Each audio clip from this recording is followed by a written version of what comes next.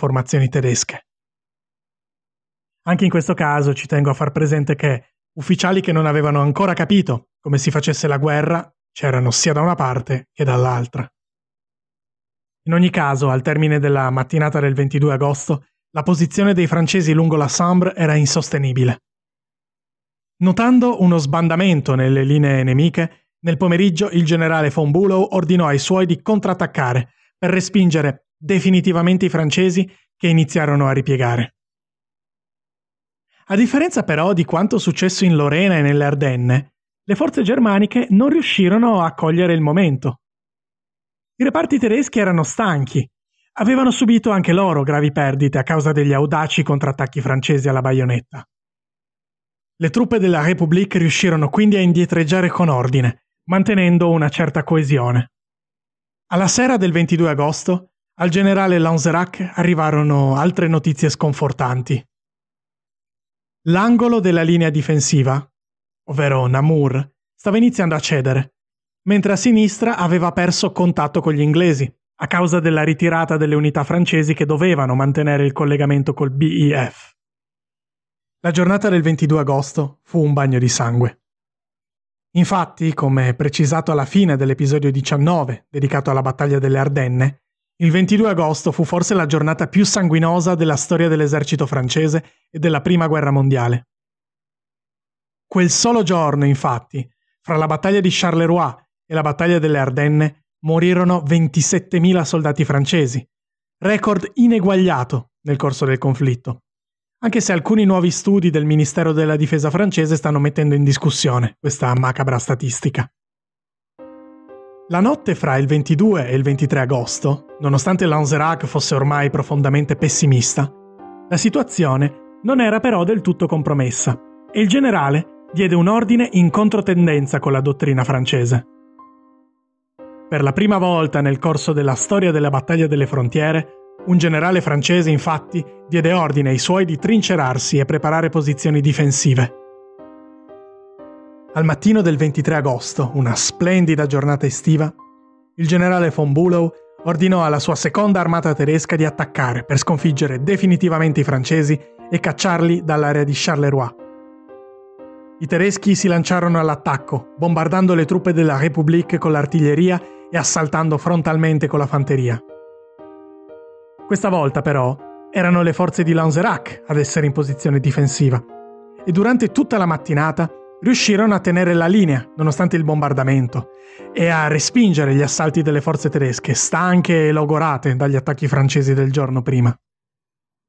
Nel pomeriggio però, al quartier generale di Lanzerac iniziarono a giungere altre notizie negative, che fecero prendere al generale francese la decisione definitiva. Prima di tutto gli arrivò la conferma che sulla sua destra la quarta armata francese del generale Longle de Carry era stata pesantemente sconfitta nella battaglia delle Ardenne e che si stava ritirando. Poi ottenne la conferma del fatto che ormai i forti di Namur avevano ceduto e che i belgi stavano evacuando la città. E poi gli giunse la notizia che anche gli inglesi sulla sua sinistra che quello stesso giorno, a pochi chilometri di distanza, erano stati coinvolti nella battaglia di Mons, di cui parlerò fra poco, stavano perdendo terreno. Infine arrivò la notizia decisiva.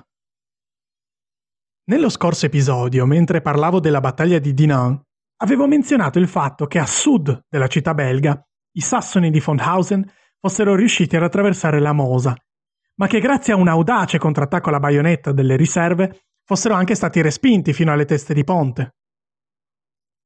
Ebbene, a Lanzerac, nel caos della battaglia e delle comunicazioni, che noi non riusciamo neanche a immaginare e che non daremmo mai per scontato, arrivò solo la prima parte di questa notizia, che gli fece tremare le ginocchia.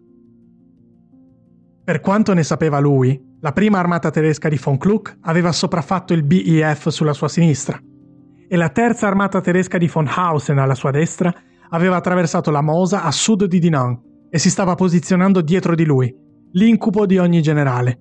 Il tutto mentre l'Angle de Carry, che avrebbe dovuto guardargli il fianco destro, si stava ritirando dopo la sconfitta delle Ardenne. L'incubo di essere circondato, alimentato anche dal grande pessimismo di fondo del generale, divenne realtà. Nonostante quel giorno i francesi fossero riusciti a resistere all'attacco della seconda armata tedesca di von Bülow, alle 21.30 Lanzerac diede alla sua quinta armata l'ordine di ritirata generale. Il generale era convinto che se non si fosse mosso la sua armata sarebbe stata circondata e distrutta.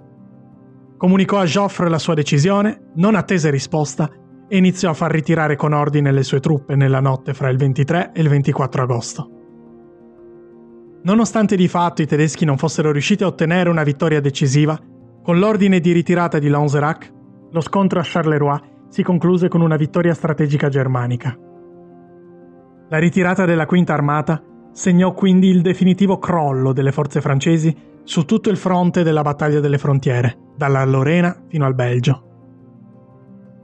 Le perdite francesi durante la battaglia di Charleroi sono difficilmente quantificabili. Probabilmente si trattò di circa 20.000 uomini, di cui almeno 6.000 morti. I tedeschi persero invece circa 10.000 uomini, con più di 3.000 morti. L'opinione sulla scelta del generale Lanzerac è stata largamente ribattuta dagli storici. Alcuni ritengono che la sua scelta sia stata corretta, perché permise di salvare la quinta armata dall'annientamento mentre altri ritengono che sia stato troppo influenzato dal suo pessimismo e che ciò abbia precluso il suo giudizio. Non essendo io un esperto stratega, a più di cento anni di distanza non me la sento di dare un'opinione su questa scelta. Adesso ci spostiamo qualche chilometro più a ovest per parlare del battesimo del fuoco delle truppe britanniche durante la Grande Guerra, la battaglia di Mons. Il BEF di Sir John French era giunto nella zona di Mons il 22 agosto, il giorno sanguinoso dell'esercito francese. I britannici avevano marciato per giorni accolti da una popolazione festante, col morale alto e una gran voglia di affrontare e sconfiggere i tedeschi.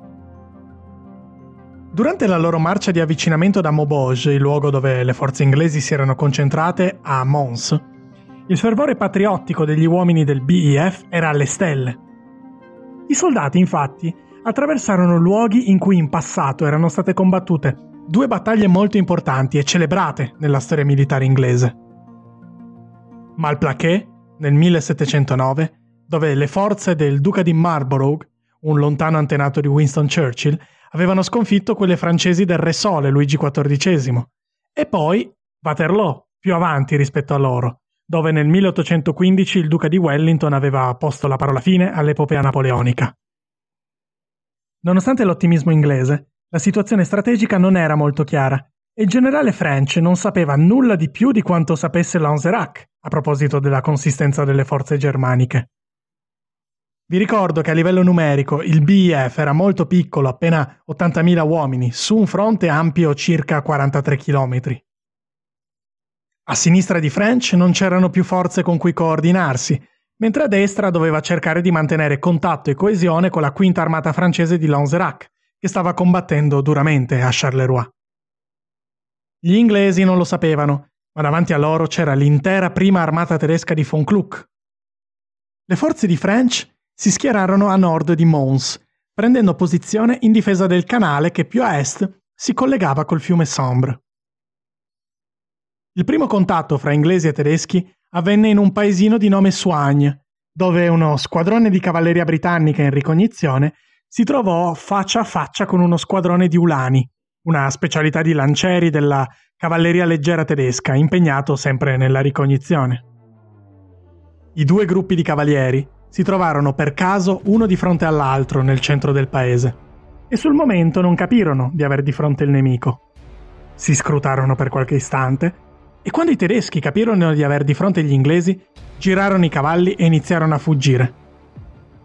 I cavalieri britannici sguainarono le loro sciabole, spronarono i loro destrieri e si lanciarono all'inseguimento per le viuzze di Soigne. Cavalli inglesi dovevano essere più veloci, perché i britannici raggiunsero gli ulani tedeschi e li impegnarono in corpo a corpo, sciabole contro lance. Nel combattimento, tre o quattro cavalieri tedeschi vennero uccisi, mentre gli altri abbandonarono le lance e si diedero alla fuga. Senza subire perdite, la prima schermaglia a Soigne fu molto galvanizzante per gli inglesi.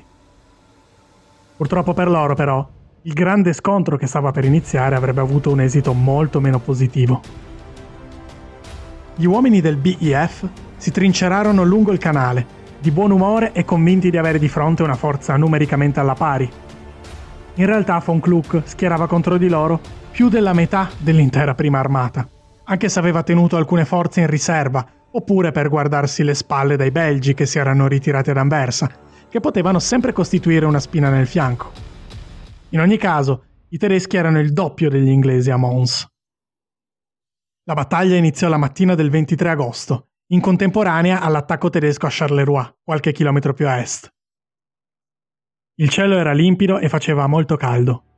Era la prima volta dai tempi della guerra di Crimea del 1853-1856 che dei soldati inglesi combattevano su suolo europeo. Alle 9 del mattino l'artiglieria tedesca iniziò a bombardare le linee britanniche e la fanteria germanica si lanciò all'assalto dei ponti per attraversare il canale di Mons. Gli attacchi furono particolarmente violenti in una zona precisa del fronte, dove un'ansa del canale creava un saliente fra le linee inglesi.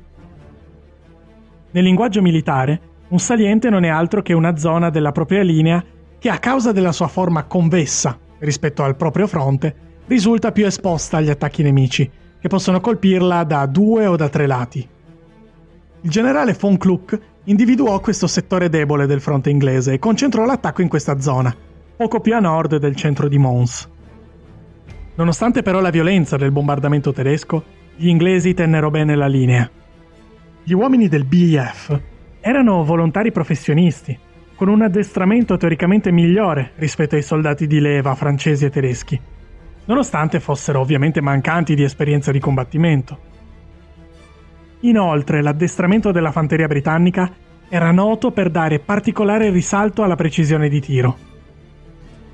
Fu proprio il tiro precisissimo dei fucilieri inglesi che nella mattinata del 23 agosto miete molte vittime fra i reparti tedeschi che avanzavano allo scoperto verso il canale di Mons.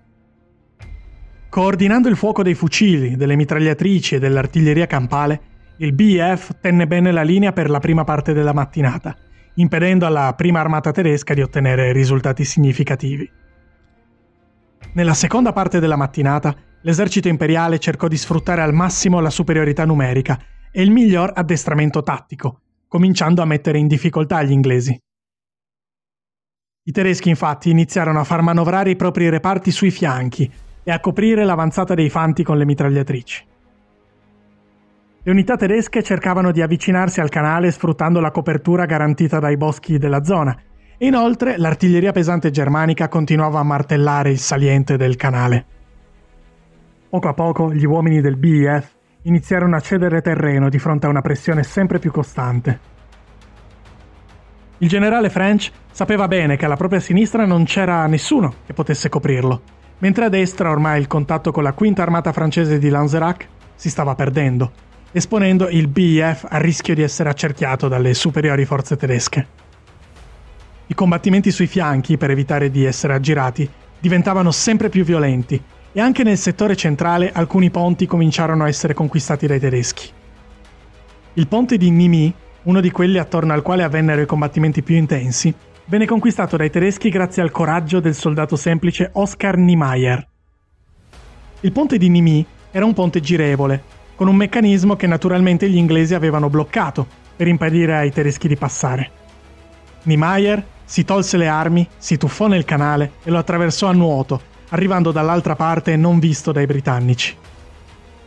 Una volta a terra, il soldato azionò il meccanismo del ponte, che poté quindi essere attraversato dai suoi compagni. Nel corso di questa azione, Niemeyer venne ucciso e per il suo coraggio divenne il primo soldato tedesco della Grande Guerra ad essere decorato postumo con la Croce di Ferro, una delle più alte onorificenze militari germaniche. In quello stesso settore, due soldati britannici vennero invece decorati con la Victoria Cross, la più alta onorificenza inglese. Si trattava del tenente Dees e del soldato Gadley, che, adoperando delle mitragliatrici, tennero a bada i tedeschi, permettendo ai loro compagni di ritirarsi. Dees morì a causa delle ferite, mentre Gadley venne catturato.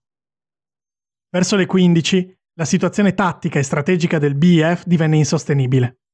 Le manovre tedesche rischiavano di aggirare le truppe di French e dal poco che gli inglesi sapevano sulla situazione di Lanzerac alla loro destra, sembrava che anche i francesi stessero perdendo terreno.